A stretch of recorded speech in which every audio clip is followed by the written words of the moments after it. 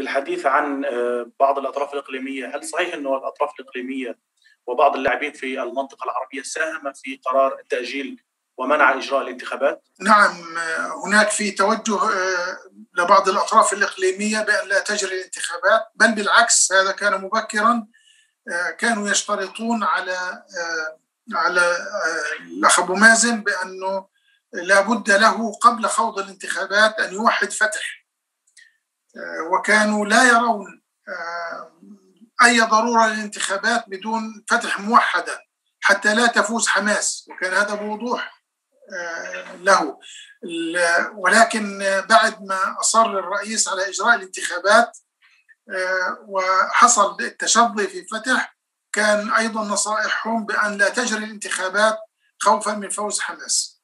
من هي من هي هذه الأطراف؟ هذا سؤال لا إجابة عليه يعني.